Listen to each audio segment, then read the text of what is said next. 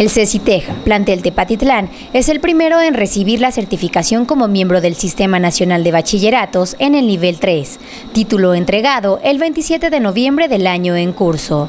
Hay una revisión de calidad en todos los sentidos, sobre todo en el ámbito académico, y que tengamos las instalaciones adecuadas para poder pertenecer. Este documento permite al CECITEC de Tepa formar parte de dicho sistema durante los próximos dos años.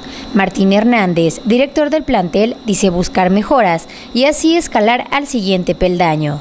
La idea es que podamos eh, subir un escaloncito más para estar en el nivel 2 del SNB y pues para nosotros es uh, muy honroso tener, estar dentro de ese sistema. Las observaciones que hizo fue eh, sobre la, las aulas que estaban muy iluminadas, pues ya tenemos cortinas en todas las aulas y talleres. Asimismo, la biblioteca era otra de las observaciones, tenemos una biblioteca abierta. Ya se llevan a cabo obras de infraestructura en la institución, como la creación de una cafetería, y se han corregido algunas de las observaciones realizadas por la empresa evaluadora.